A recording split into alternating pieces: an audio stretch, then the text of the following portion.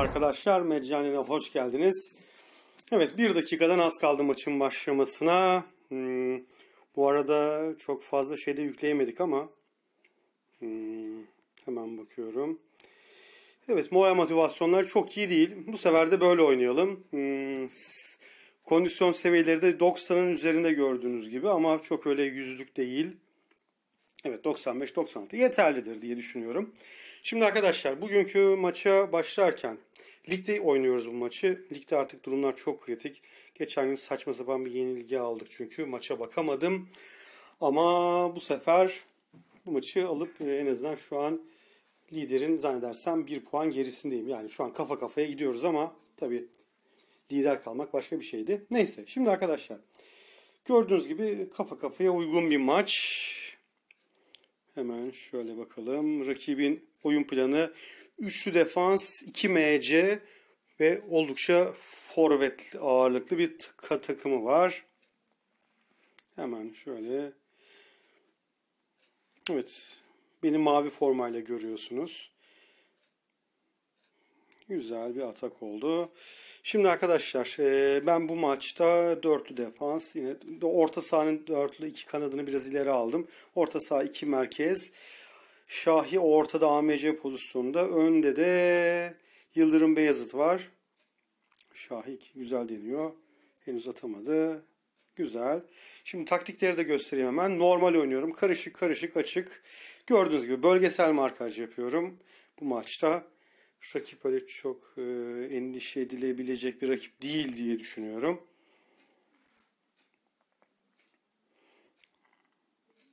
Güzel. Abdülhamit'an sağa geçti ve çok güzel bir Yıldırım Beyazıt'a gollük pas verdi. Çok güzel. Şimdi arkadaşlar bu maç oynarken e, hemen merak edenler için özellikle söyleyeyim. Arkadaşlar geçen günkü son videomda şöyle bir şey vardı. Hatta bir yenilginin anatomisi diye bir video paylaşmıştım. E, yaklaşık 15-17 puan benden iyi, daha güçlü olan bir rakibe karşı e, 3-0, 3-2 mağlup olmuştum. 3-0'dan 3-2'ye getirmiştim maçı. Hatta sonrasında iki ma- ikinci maçta yapacağım güzel şeylerden en azından bu yenilgiden nasıl dersler çıkaracağımdan bahsetmiştim. Bu arada bir korner geliyor ki bu gol. Evet gol güzel. Ee, ondan bahsetmiştim. Arkadaşlar ikinci maçı oynadım. Ee, fakat çekmek kısmet olmadı tam olarak. Çünkü dışarıdaydım, yoldaydım. Bir türlü yani böyle sessiz bir ortam elde edemedim maalesef. Ee, ve kendim de çok fazla veremedim ama verdiğim kadarıyla arkadaşlar söyleyeyim 4-1 yenildim. Hiç o lafı uzatmanın anlamı yok ama şöyle söyleyeyim hatta maçın sonunda onun bir görüntüsünü gösteririm maç e, sonu detaylarını. İlk yarı e, kafa kafaya gittik. 43. dakikada ben gol yiyene kadar her şey güzeldi. 43. dakikada 1-0 mağlup duruma düşünce artık ikinci yarı sadece ve sadece forvete ağırlık vermek zorunda kaldım. Çünkü en az 3 gol atmam lazımdı hiç gol yemeden. Ve bu da mümkün olmadı arkadaşlar. E, 4-1 mağlup olduk ve otomatikman Şampiyonlar Ligi'nden ne eğlendik. Bunu da not olarak ifade edeyim istiyorum. Ee, şimdi güzel bakalım. İşte bu Abdülhamit'in bu güzel ortaları o maçta yoktu arkadaşlar. Yani Şahi bir tane serbest vuruştan gol atamadı. Ee, ne diyeyim? Yani diyecek çok bir şey yok. Hatta bakın şu an gördüğünüz gibi moral şeyleri e, moral motivasyonları süper bir şeklinde de değil. Orta seviye gördüğünüz gibi ve ona rağmen çatır çatır da atıyorlar. Ama o maçta hepsi e, çok çok güçlü olmasına rağmen, hepsi süper moralli çıkmasına rağmen maalesef arkadaşlar başarılı olamadık. Ve dediğim gibi e, maç e, işte 1-0 mağlup duruma düştük. İşte arada beraberlik göstereceğim ben size. 2-1 falan veya sair mağlup duruma düştük. E, sonrasında zaten peş peşe goller geldi. Çünkü benim en az hani 1-0 yedikten sonra 3 tane atmam lazımdı ki maçı kazanabileyim. O da mümkün olmadı dediğim gibi. O maçta alakalı olarak e, şunu da söyleyebilirim. Henüz arkadaşlar Johnson hazır değil. E, şurada henüz şu an yedekte olan takım bu oyuncu. 140'lık pozisyonu var ama yani bulduğu pozisyonları gol yapamadı. Ceza alanında buluştu. Atamadı. Yani atamayınca atamıyor işte. Bunda da arkadaşlar şu e, işte birebir golcü özelliği veya almak istediğim Onu gö- birazdan göstereceğim. Bu arada şöyle bir bakalım. Ama şu noktada bir sıkıntı yok. Güzel. 2-0 galibiyet yeterlidir bize. Hatta Johnson'ı birazdan oyuna alırım arkadaşlar. En azından biraz hani orta yapsın. Hmm, güzel.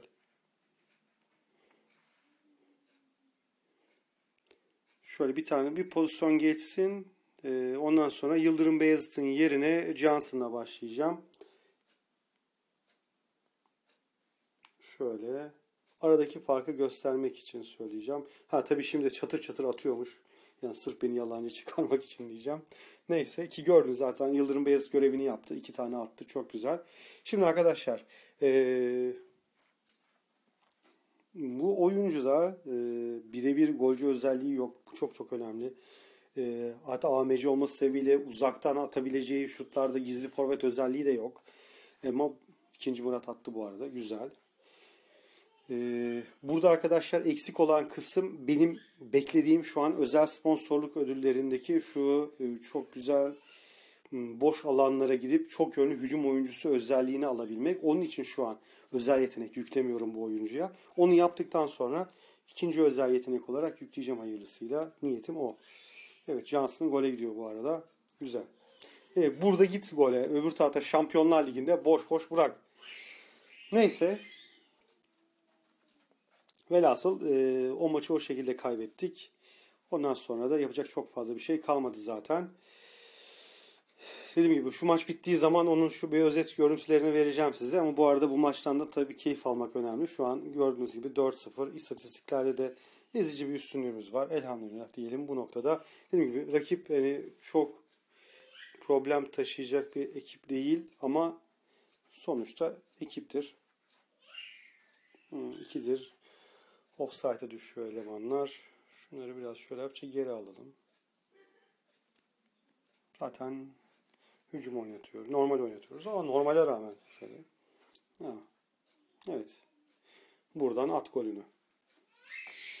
Yani 5-0 oldu. Ama dediğim gibi yani şu an bu maçı arkadaşlar çok fazla sevinemiyorum. Yani öbür tarafta kaybettiğim o maçı düşünürsek kötü. Bunun yanında ligde de bir maçı hiç e, giremedim maça. Yani iş güç vesaire bakamadım.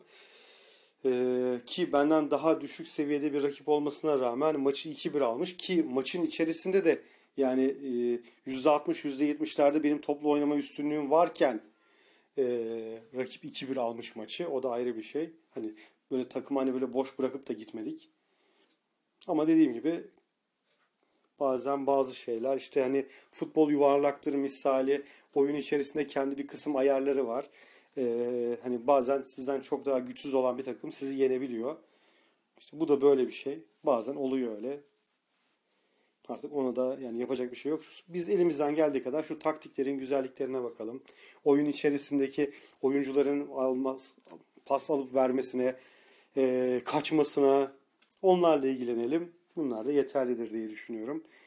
En azından insanlara güzel bir şekilde şu e, biliyorsunuz ligde de ligde demişim. E, Euro 2020'de de çok güzel bir başlangıç yapamadık. Çok güzel bir son da yapamadık. Hatta turnuvanın en kötü takımı olarak bitirdik. E, hani onun zaten bir moral yorgunluğu var. En azından burada kendi çapımızda güzel güzel eğlenelim diyelim. Şöyle biraz kondisyon verelim. Zaten bitti maçta. Yani şu an 6-0. Hani 7 olsa ne olur, olmasa ne olur? Hı da vurdu. Güzel. Bunların oyuncu isimlerini değiştirmedim. Arkadaşlar neden değiştirmediğimi de söyleyeyim. Johnson arkadaşlar şu çok yönlü hücum oyuncusu özelliğini vereyim. Öyle değiştireceğim inşallah. Niyetim odur. Yani e, çok güzel bir suretle gelsin istiyorum. Evet maç bitti. Gördüğünüz gibi eee özellikler bunlar. Yıldırım Beyazıt gitmeden önce attı güzel güzel. 64'e 36 topla oynama üstünlüğümüz var. Güzel. Rakibe karşı te teşekkür ederim arkadaşlar. Kendi avantajımızı da kullandık. Şimdi bunu kapatalım. Hemen arkadaşlar şu fikstürlerden Evet. Birlikte şunu geçtik. Evet şu, arkadaşlar Toga. Gördüğünüz gibi 43. dakikada saçma sapan bir şekilde golü yedik. Peşinden beraberliği bulduk çok şükür. Ama ondan sonra 2-1'i yiyince artık e, açıldık. Gördüğünüz gibi bahsettiğim gibi bu formatta oynadım. Rakip de aynı formatta geldi.